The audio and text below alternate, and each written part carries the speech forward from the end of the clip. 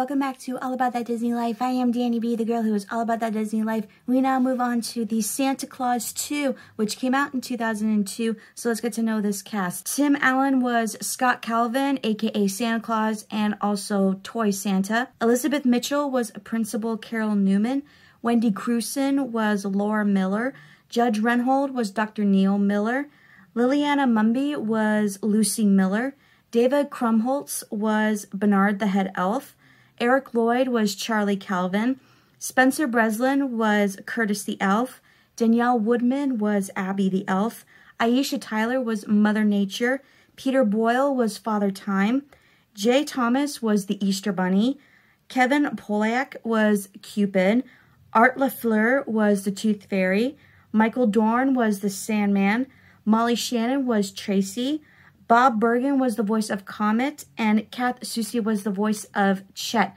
Now we move on to the facts all about the sequel to the Santa Clause. Number one, the production.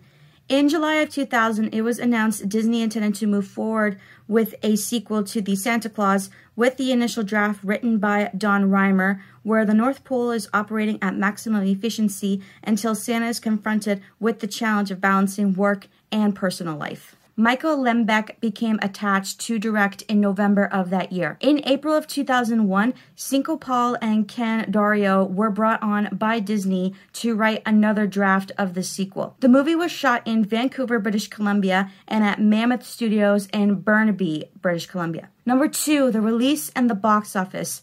This movie was released into theaters on November 1st, 2002. During its opening weekend, this movie made $29 million or more than the first Santa Clause movie and was ranked in first place at the box office ahead of Jackass the movie. While the movie was overtaken by 8 Mile a week later, it still made a total of $24.7 million.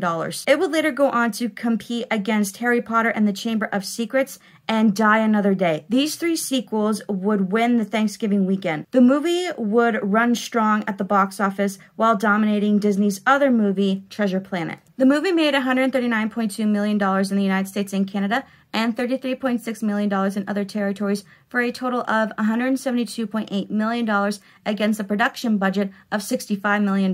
This was the fifth highest grossing holiday movie. Number three, awards and nominations.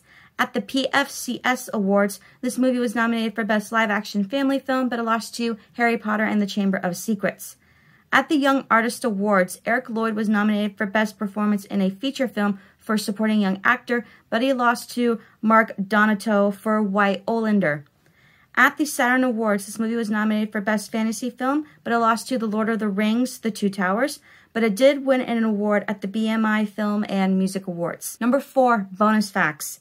A Kim Possible poster can be seen in Lucy's Room, a hit TV series from Disney Channel at the time of this movie. A teaser trailer for this movie originally referred to it as Santa Clause 2 The Escape Clause, scheduled for release on November 21st, 2001. However, the subtitle would later become the subtitle for the following sequel, which came out in 2006. Number 5, The Good Points and the Bad Points. Once again, this is based off of the internet's perspective. So the good points is that the plot is clear, the movie is beautiful, funny, charming, and exciting.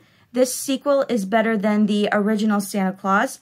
This movie embodies the true spirit of Christmas, and the special effects were pretty awesome at the time, considering that the first movie came out in the 90s, and this is more into the 21st century of effects animation. Now, for the bad points, a lot of fans are saying that this was a forced sequel, that the outcome is predictable. The sequel was done just for money.